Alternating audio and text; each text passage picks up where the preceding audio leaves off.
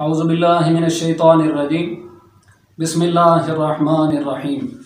अज़ीज़ तलबा आज हम सेकेंड ईयर के इस्लामियात का दूसरा लेक्चर शुरू करते हैं पिछले पिछले लेक्चर में हमने सुरह मुमिनून का इब्तदाई तारफ़ पढ़ा था आज हम सुरह मुमिनून के आयात की तशरी शुरू करते हैं सबसे पहली आयत कद अफलाहल मुमिनून है और दूसरी आयत छोड़ के हम तीसरी शुरू कर रहे हैं। इसलिए कि पहली और तीसरी दोनों का मजमून एक है।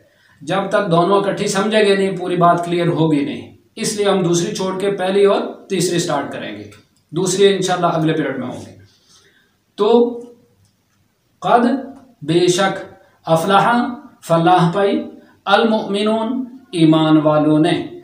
यकीनन ईमान वाले कामयाब हुए। आयत नंबर तीन है वो और अल्लदीना, जो हम, वो हैं, अन से लगवे, लगव बातों मोरजून एराज करते हैं। उर्दू का लफ्ज़ एराज मोरजून बचते हैं। वो जो बेहुदा बातों से बचते हैं। अब इसकी तशरी की तरफ़ आ जाए। लफ्ज़ कद का मतलब है बेशक। किसी शक को दूर करने के लिए लफ्ज़ कद लाया जाता है।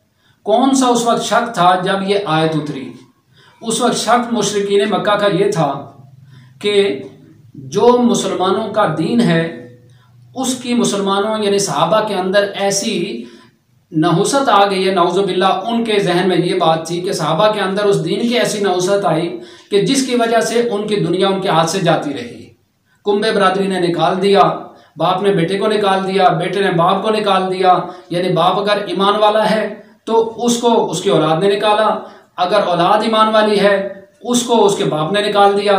तो इन चीज़ों को देखकर कुफार मक्का के जहन में ये बात है कि ये सारा इनके दीन की वजह से हुआ। और हमारी जो रैल पहल है, दुनिया है, ये सारा कुछ हमारे दीन की वजह से है, जो हमने वजदना आबा अना हमने जो अपने बाप दादा से दीन पाया है, वो हमारा दीन ठीक है, और जो साहबा का दीन है, वो सही नहीं। ये शक था जिसको दूर करने के लिए अल्लाह पाक लफ्स कद लाए हैं। आज ये शक हमारे अंदर भी मौजूद है। कि दुकानदार दुकान छोड़ के मस्जिद नहीं जाता। इसलिए कि वो ये समझता है कि मैं नाकाम हो जाऊँगा। कैसान हल चलाते छोड़कर मस्जिद आज़ान की आवाज़ पर नहीं जाना चाहता। इसलिए कि उसको शक है कि मैं अपने अगर हल छोड़ दी तो क्या हो जाएगा? मैं नाकाम हो जाऊँगा। इसी तरह दफ्तर वाला अपना दफ्तर नहीं छोड़ना चाहता। वो ये समझ रहा है कि मैंने अपना जो दफ्तरी सामान है, वो सारा अगर नमाज़ के वक्त छोड़ दिया तो मैं नाकाम हो जाऊँगा। हालाँकि उस वक्त अल्लाह का हुक्म ये है कि सारे काम छोड़कर नमाज़ के वक्त में मस्जिद की तरफ़ आया जाए, ताकि वो कामयाब हो जाए। तो लफ्ज़ कद किसी शक को? जैसे आपने नमाज़ के दौरान भी आपने सुना होगा, कद कामत सलाह तहकीक नमाज़ खड़ी हो चुकी। अब शक की गुंजाइश नहीं, सफ़ें बनी हुई हैं। और नमाज़ स्टार्ट होने वाली है, इसमें इसमें शक की गुंजाइश नहीं तो लफ्ज़ कद कामत सलाह दूसरा लफ्ज़ है अफलाह, फलाह पाई। फलाह किसको कहते हैं? ऐसी कामयाबी जिसमें खसारा ना हो, जिसमें टूटा ना हो, जिसमें घाटा ना हो, जिसमें नामुरादी ना हो। यानी सौ फ़ीसद जिसमें कामयाबी हो।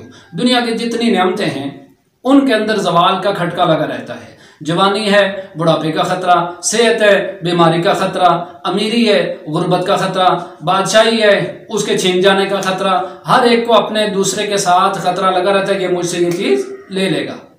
लेकिन जन्नत ऐसी चीज़ है जिसके अंदर सौ फ़ीसद कामयाबी है, जिसमें किसी नियामत के जवाल का खतरा नहीं है।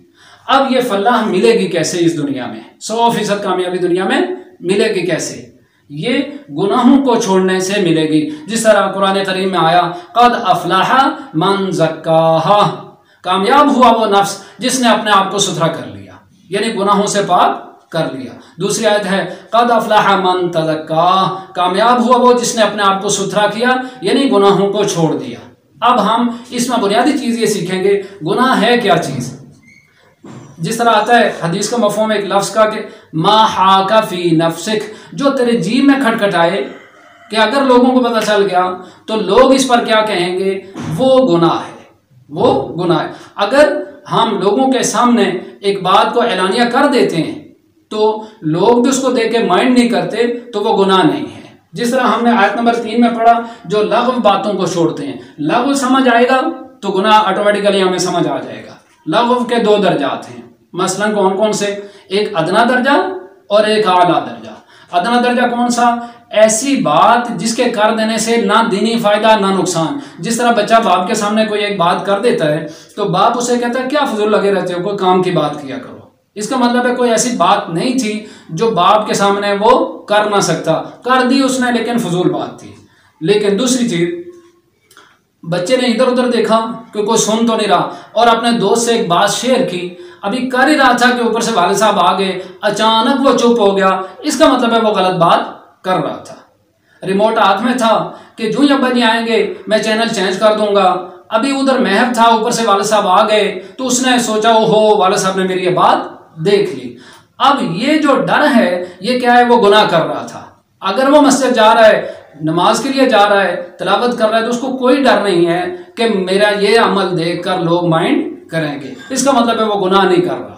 अब लघु का आला दर्जा हो या अदना दर्जा, ईमान वाले की सिर्फ़ ये कि वो उससे बचता है। जो बचेगा, वो फलाह वाला हो जाएगा। जो गुनाहों से बचेगा, जिस तरह ईमान वाले की अलामत ये बताएगी, उसे छोटी सी गलती हो जाती है तो वो उसको एक पहाड़ समझता है। एक बहुत बड़े बुज़ुर्ग थे, वो एक दफ़ा धाड़े मार के रोने लगे। किसी ने पूछा, हज़रत, क्या हुआ? तो उन्होंने कहा, मैंने खाना खाने के बाद अपने हाथ हमसाए वाले की दीवार के साथ साफ़ कर दिए। अब कई दिन वो रोते रहे कि मैंने बहुत बड़ा जुर्म कर दिया।